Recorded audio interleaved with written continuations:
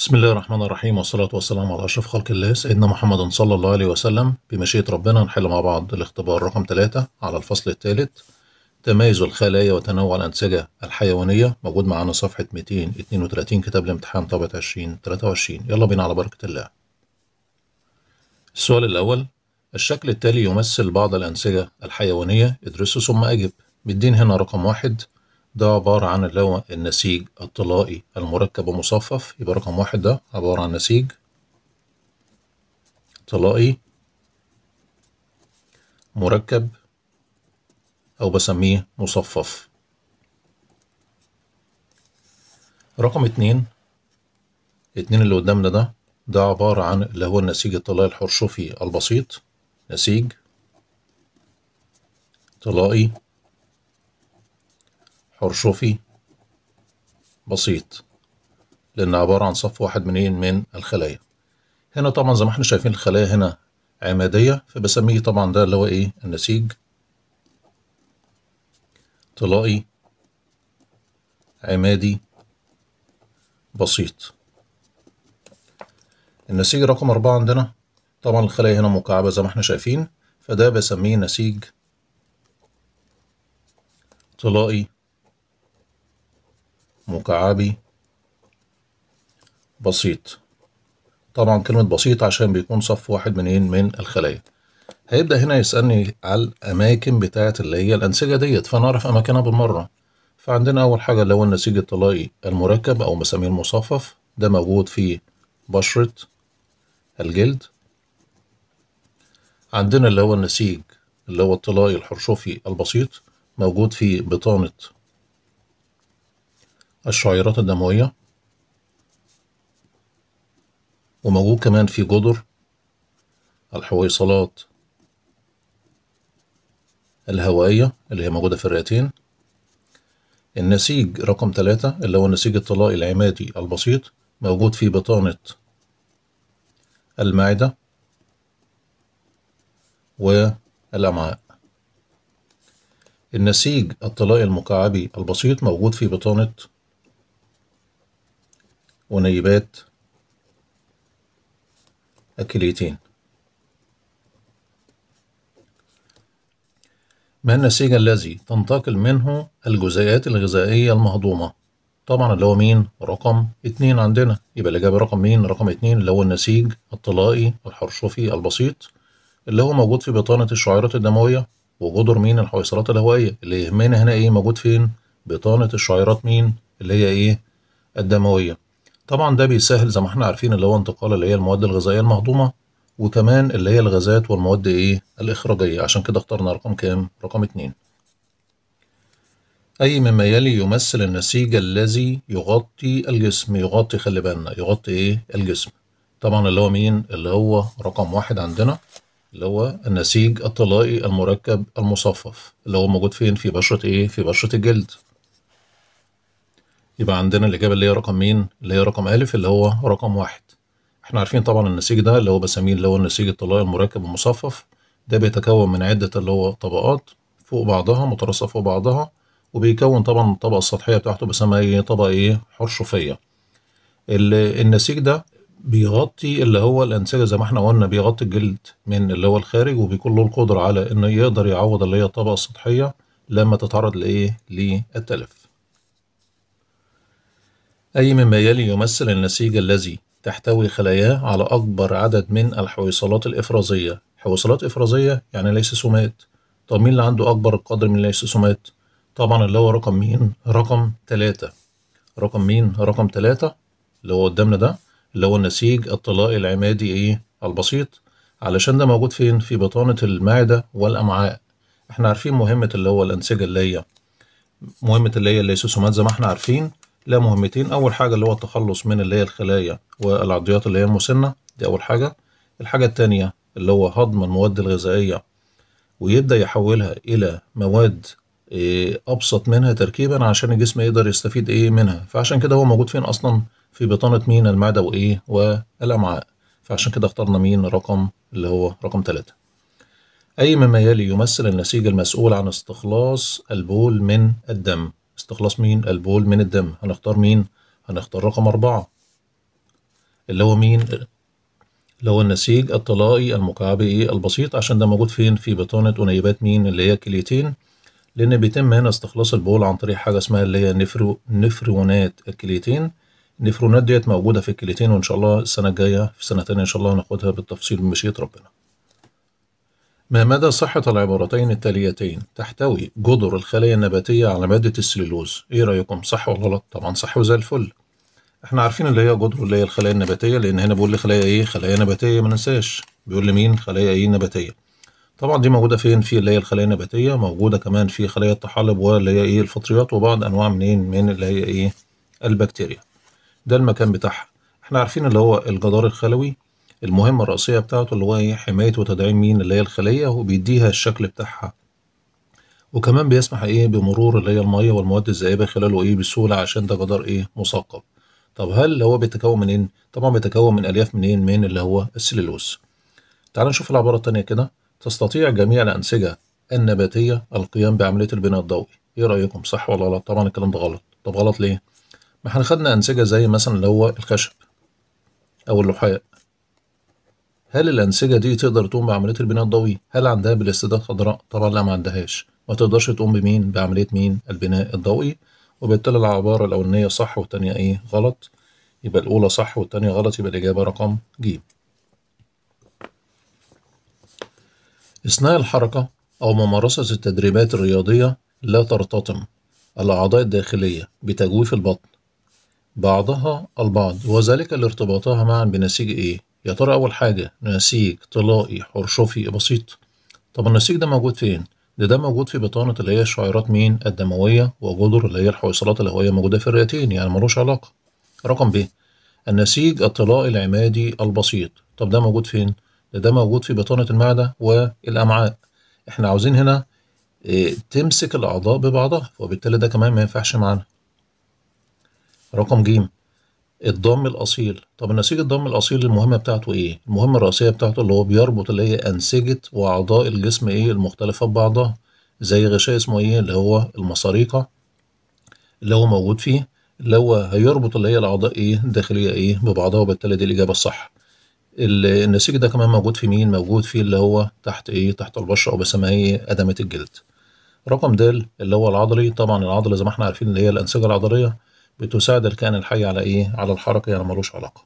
يبقى الصح كده بالنسبة لنا رقم ج ما سبب انتقال البلعة الغذائية من البلعوم إلى المعدة خلال المريء؟ بيكلمنا على مين خلال اللي هو المريء؟ المريء ده بيجي بعد اللي هو مين؟ بيجي بعد اللي هو البلعوم. وطبعا ده بيمر خلال مين؟ خلال اللي هو العنق والتجويف إيه؟ الصدري. الطول بتاعه حوالي 25 سنتيمتر.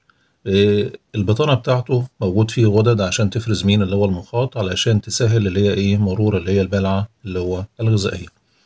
المريء ده المهمة الرئيسية بتاعته بيوصل اللي هو البلعة الغذائية من اللي هو البلعوم إلى إيه إلى المعدة. وعملية التوصيل ديت إن هو بيتم عن طريق مجموعة من اللي هي الانقباضات والانبساطات اللي هي العضلية بسميها اللي هي الحركة إيه الحركة الدودية. طب نسأل نفسنا سؤال هل الحركة دي أقدر أتحكم فيها؟ طبعا لأ. طب تعالوا نشوف كده الاختيارات. فأول حاجة عندي كده بقول إيه؟ انقباض وانبساط عضلات مخططة إرادية. مخططة إرادية. إحنا اتفقنا دلوقتي إن الحركة دي ما أقدرش أتحكم فيها. وأنا عندي اللي هي المخططة الإرادية دي بتكون موجودة فين؟ في العضلات اللي هي الهيكلية. اللي هي بتتصل بمين؟ بالهيكل العظمي زي عضلات الإيدين أو عضلات الرجلين أو عضلات الجذع. فإذا ده ما ينفعش معانا. انقباض وانبساط عضلات مخططة لا إرادية. ها طب دي موجودة فين أصلا؟ والله العضلات دي موجودة فين؟ في اللي هي عضلات القلب فقط ما تنفعش معانا. انقباض وانبساط عضلات غير مخططة إرادية طبعا دي كمان غلط. انقباض وانبساط عضلات غير مخططة لا إرادية طبعا دي اللي أنا بسميها العضلات مين اللي هي الملساء وطبعا دي زي ما إحنا عارفين موجودة في جدار اللي هو القناة الهضمية وموجود في المثانة البولية وكمان الأوعية إيه الدموية فده بالنسبة لنا الصح يبقى الإجابة رقم د.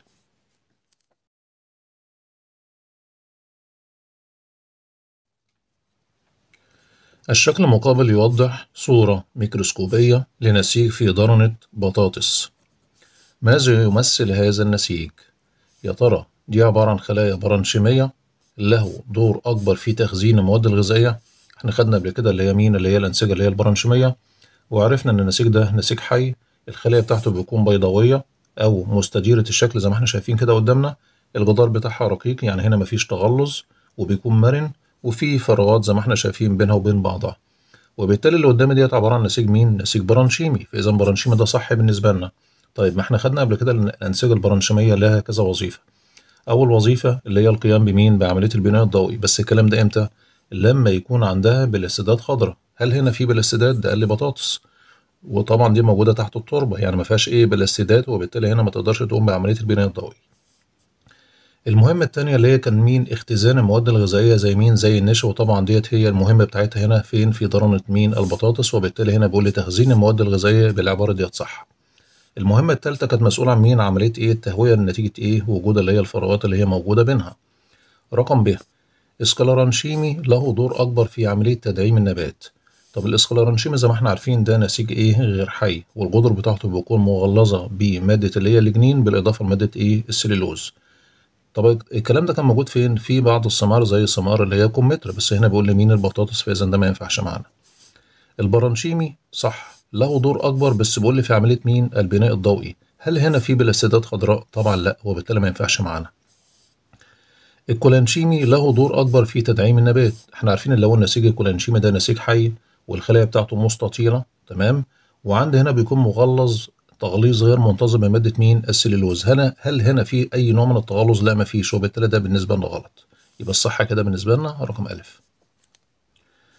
أي من الأنسجة التالية؟ لا يشارك. لا يشارك خلي بالنا في عملية تدعيم النبات. أول حاجة عندنا اللي هو الخشب. طب الخشب هنا هل له مهمة بالنسبة للتدعيم؟ طبعا. إحنا عارفين طبعا مهمة الخشب الرئيسية. أول حاجة اللي هي امتصاص المية والأملاح من التربة. الحاجة التانية بيساعد على تدعيم مين النبات لأنه مغلظ من الداخل بمادة إيه؟ مادة الليجنين فبالتالي ده ما ينفعش معانا. رقم ب اللحاء طب اللحاء مهمته إيه؟ اللحاء والله المهمة بتاعته الرئيسية اللي هي توصيل العصارة الناضجة من الأوراق إلى جميع أجزاء النبات. طب هل هنا في تدعيم؟ لا ما فيش وبالتالي ده الإجابة الصح اللي إحنا بندور عليها. رقم ج النسيج الكولانشيمي النسيج الكولانشيمي ده نسيج حي الخلايا بتاعته بتكون مستطيلة ومغلظ هنا تغليظ غير منتظم بمادة مين؟ بمادة السليلوز وطبعا ده بيكون له فين؟ له دور في عملية اللي هو التدعيم لأن بيكسب النبات اللي هي الليونة المناسبة فإذا ده ما ينفعش معانا. النسيج الاسكلرانشيمي النسيج ده نسيج غير حي مغلظ بمادة اللي هو الليجنين بالإضافة لمادة اللي هو السليلوز والوظيفة بتاعته اللي هو تقوية وتدعيم النبات وإكسابه إيه؟ الصلابة والمرونة. يعني له دور في تدعيم مين؟ النبات فإذا ما ينفعش معنا. الشكل الذي أمامك يمثل بعض خلايا أحد الأنسجة الحيوانية. ما وظيفة هذه الخلايا؟ نبص على الخلايا كده الأول. زي ما إحنا شايفين الخلايا مستطيلة عمادية شكل العمود وعندي فيها الأنوية. يبقى اللي قدامي ده عبارة عن إيه؟ عبارة عبارة عن اللي هو النسيج الطلائي العمادي البسيط. طيب تعال نشوف الاختيارات كده. فبقول لي أول مهمة أو وظيفته اللي هو حماية الجسم من الجفاف. هل الكلام ده صح؟ طبعا الكلام ده غلط. طب غلط ليه؟ علشان دلوقتي هو بيكلمني على مين؟ ده بيكلمني عن النسيج الحرشفي اللي هو المصفف اللي هو بيكون مغطى إيه؟ بمادة مين؟ اللي هي الكراتين اللي هي بتحمي إيه؟ الجلد من اللي هو الجفاف. رقم ب. امتصاص الغذاء المهضوم. طبعا دي الإجابة الصح علشان اللي هو النسيج الطلائي العمادي البسيط بيكون موجود في اللي هو بطانة مين اللي هو المعدة والأمعاء وبالتالي بيساعد على امتصاص مين؟ الغذاء المهضوم. رقم ج نقل الغذاء المهضوم والفضلات. طب مين اللي بيقوم بالمهمة ديت؟ والله اللي بيقوم بالمهمة ديت اللي هو النسيج الطلائي الحرشفي البسيط. طب ليه؟ علشان بيبطن الشعيرات الدموية اللي هي بتسهل انتقال المواد الغذائية المهضومة وكمان الغازات وكمان المواد إيه؟ الإخراجية. رقم د حماية الجسم من الميكروبات. مين اللي هيقوم بالمهمة ديت؟ والله اللي هيقوم بالمهمة ديت اللي هو النسيج الحرشفي إيه؟ المركب علشان بيكون موجود عليه مادة إيه؟ الكيراتين وبالتالي ده كمان غلط. يبقى الصح رقم ب تتكون الهياكل الداخلية للأسماك من أنسجة تختلف خلاياها فيما تحتويه من مواد كيميائية لتلائم عمق الماء. الذي تعيش فيه. مما سبق نستنتج أن هناك أسماك هياكلها مرنة وأخرى هياكلها أكثر صلابة. في ضوء دراستك استنتج نوع النسيج في الحالتين السابقتين. إحنا عندنا الأسماك بقسمها نوعين. أول نوع من الأسماك رقم واحد كده بسميها أسماك عظمية. أسماك عظمية. النوع التاني من الأسماك بسميها أسماك غضروفية. يبقى عندي في نوعين أسماك عظمية وأسماك إيه؟ غضروفية. النوع الأولاني اللي هو الأسماك العظمية. هنا الهيكل بتاعها بيكون الهيكل أكثر صلابة. أكثر صلابة. طب ليه؟ علشان بيتم فيه ترسيب اللي هي مادة مين؟ مادة الكالسيوم. والأسماك ديت هنا لما تيجي تعيش بتعيش هنا بالقرب من سطح المية. ما تقدرش تتحمل الضغط الشديد بتاع مين؟ بتاع المية عليها. النوع التاني من الأسماك اللي أنا بسميها الأسماك الغضروفية. والهيكل هنا الهيكل هيكون أكثر مرونة. ودي بتعيش فين حتة؟ دي بتعيش على أعماق كبيرة تحت سطح إيه اللي هي البحار والمحيطات علشان تقدر تتحمل اللي هو الضغط الشديد بتاع مين؟ بتاع اللي هو المية. تعتمد عملية النقل في النبات على الخلايا الحية فقط. ما مدى صحة العبارة مع التفسير؟ هل العبارة دي صح ولا غلط؟ عملية إيه؟ خلي بالي بقول لي عملية مين؟ عملية النقل. طبعا الكلام ده غلط، أقول له عبارة خاطئة. طب خاطئة ليه؟ أقول له عملية النقل في النبات بتتم عن طريق حاجة من الاتنين. يا إما عن طريق اللي هو الخشب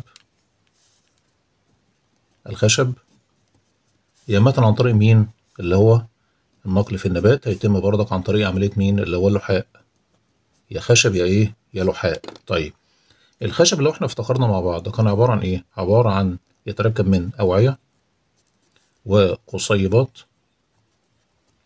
وخلايا برانشيمية طب تعالى نفتكر مع بعض كده. أول حاجة عندنا اللي هي مين اللي هي الأوعية. هل الأوعية دي حية ولا غير حية؟ طبعا دي غير حية. طب ليه؟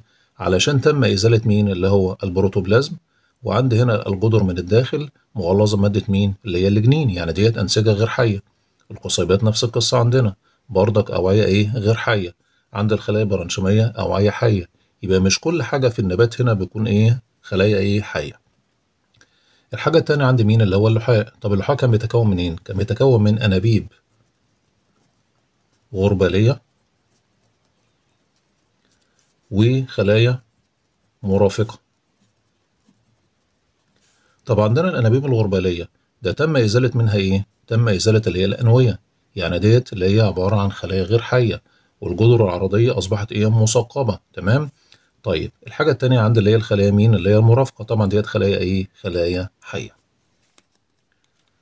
ما وجه الشبه بين عضلة القلب وعضلات الساق؟ طب أول حاجة عندنا اللي هي عضلة مين؟ عضلة القلب. والحاجة التانية عضلات الساق. عندنا أول حاجة اللي هي عضلة اللي هي القلب. طبعا ديت عضلات لا إرادية مخططة.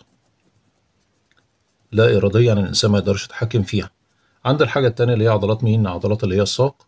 طبعا دي عبارة عن عضلات اللي هي إرادية مخططة. طب دلوقتي هو عاوز إيه؟ بيقول لي وجه مين؟ وجه الشبه بينهم. التشابه بينهم هما الاتنين أقول له وجه الشبه وجه الشبه. إن هما الاتنين عبارة عن إيه؟ عبارة عن عضلات مخططة.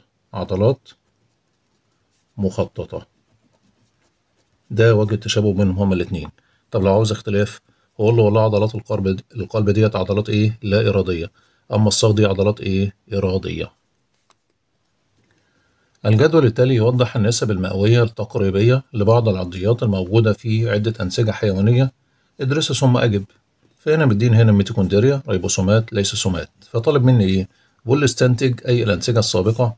يمثل نسيج ضام وعائي ضام وعائي ضام وعائي يعني هيكتر فيه مين؟ يا ترى ميتوكوندريا ولا ريبوسومات ولا ليسوسومات؟ طبعا اللي هيكتر فيه مين؟ اللي هو الليسوسومات علشان النسيج الضم الوعائي اللي هو بيشمل اللي هو الدم والليمف. وبالتالي هنا يحتوي على إيه؟ على أكبر نسبة من الليسوسومات اللي هي رقم كام؟ اللي هي 21% اللي إحنا شايفينها قدامنا اللي هي رقم د. يبقى أقول له اللي هو النسيج اللي هو رقم د. طيب الليسوسومات لو إحنا فاكرين كانت المهمة بتاعتها إيه؟ طبعا كانت مهمتها أول حاجة اللي هي بتخلص اللي هو الجسم من الخلايا والعضيات اللي هي المسنة والمتهالكة. والحاجة التانية كانت بتهضم اللي هي مين؟ المواد الغذائية اللي بيتم ابتلاعها بواسطة الخلية وتبدأ تحول إلى إيه؟ إلى مواد إيه؟ أبسط تركيبا. طبعا اللي هي الليسوسومات بتكثر فيه اللي هو الدم علشان تقدر تهاجم أي ميكروب أو أي جسم غريب يخش إيه؟ داخل الجسم.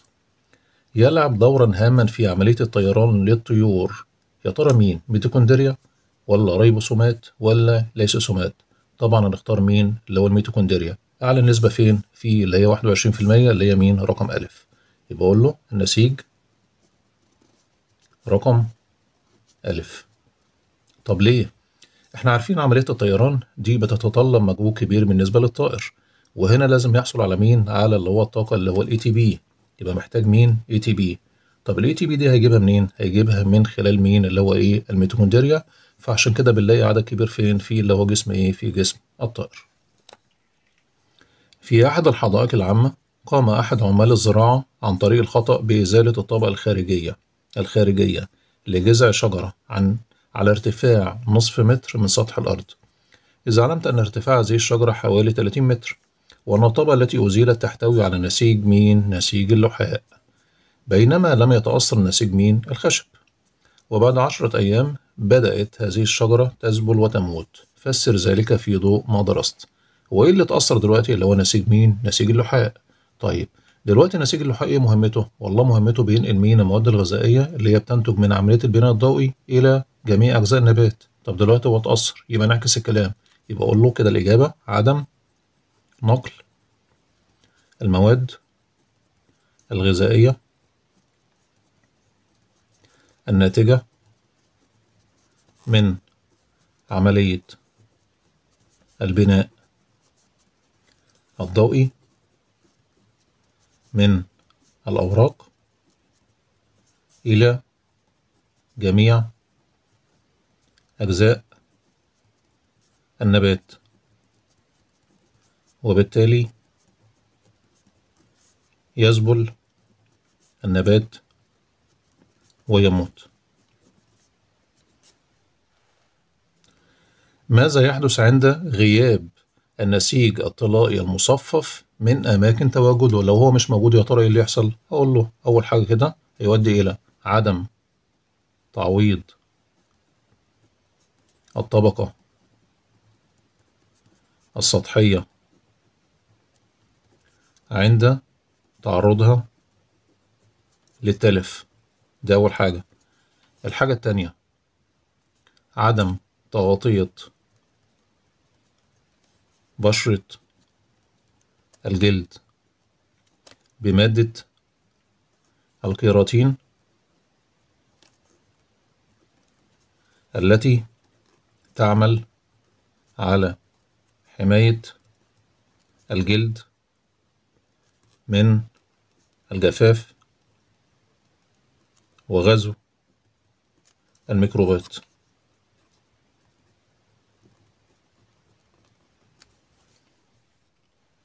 ما العلاقة بين النسيج العصبي وحركة الجسم؟ طب أول حاجة عندنا اللي هو نسيج مين؟ النسيج اللي هو العصبي النسيج العصبي المهمة الرئيسية بتاعته ده مسؤول عن مسؤول عن حركة أجزاء الجسم عن طريق العضلات التي لها القدرة على الانقباض والانبساط طب الحاجة التانية عندنا مين؟ اللي هي العضلات اللي إحنا بنتكلم عليها اللي هو الجهاز مين؟ الجهاز العضلي. الجهاز العضلي زي ما إحنا عارفين المهمة الرئيسية بتاعته اللي هو مسؤول عن حركة أجزاء الجسم عن طريق العضلات. والعضلات عندنا زي ما إحنا عارفين بيكون لها القدرة على الانقباض واللي هو الانبساط. بنقسم العضلات اللي هي بتاعة الجسم إلى نوعين أساسيين عندنا. أول نوع بسموها اللي هي العضلات اللي هي الإرادية ودي الإنسان يقدر يتحكم فيها زي عضلات اللي هو الجذع أو عضلات الإيدين أو عضلات الرجلين. النوع التاني بسميها عضلات لا إرادية وهنا الجسم هنا أو الإنسان ما يقدرش يتحكم فيها. طب زي كده زي عضلات القلب زي اللي هي العضلات الملساء اللي هي موجودة في بطانة اللي هي موجودة في اللي هي جدر اللي هي الأوعية الدموية تمام؟ كل العضلات أو القناة الهضمية كل دي الإنسان ما يقدرش إيه يتحكم فيها. يا رب يكون فهمنا ما تنسوناش من صالح دعواكم. كان معكم مستر طارق. وإلى اللقاء إن شاء الله في فيديوهات قادمة. وسلام الله عليكم ورحمة الله وبركاته.